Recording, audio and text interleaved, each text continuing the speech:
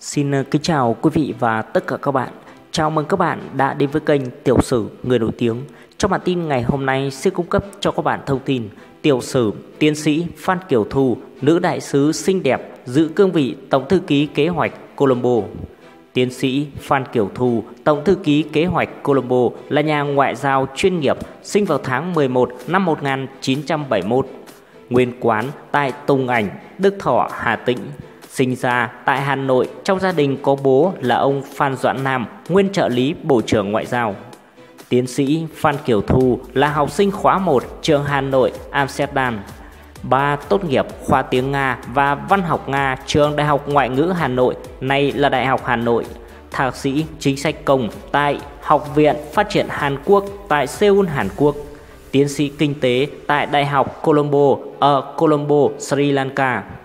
Tiến sĩ Phan Kiều Thu bắt đầu làm việc tại Bộ Ngoại giao Việt Nam vào tháng 1 năm 1998 với tư cách là chuyên viên vụ châu Á 2, này là vụ Đông Nam Á, Nam Á và Nam Thái Bình Dương.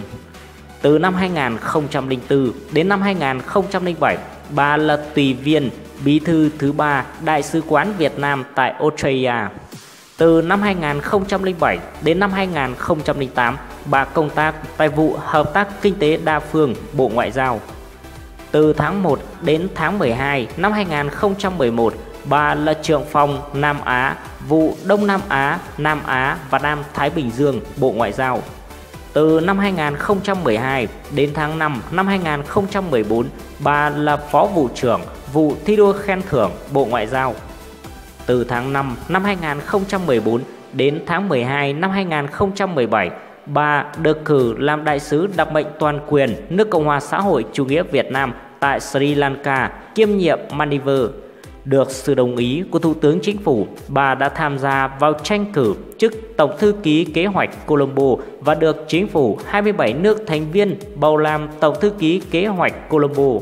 Đây là lần đầu tiên một phụ nữ Việt Nam được bầu giữ chức người đứng đầu của một tổ chức quốc tế liên chính phủ. Bà thông thạo tiếng Anh, tiếng Nga và tiếng Pháp. Ngoài công tác chuyên môn với tư cách là một nhà ngoại giao, tiến sĩ Phan Kiều Thu còn tham gia biểu diễn ca nhạc với giọng nữ trung giả nữ cao Subret Soprano.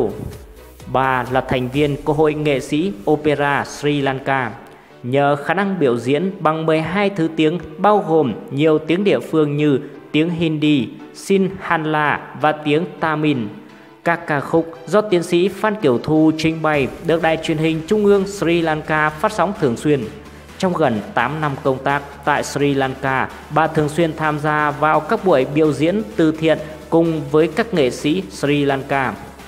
Cảm ơn các bạn quan tâm theo dõi. Các bạn đừng quên bấm like, đăng ký kênh để ủng hộ chúng tôi.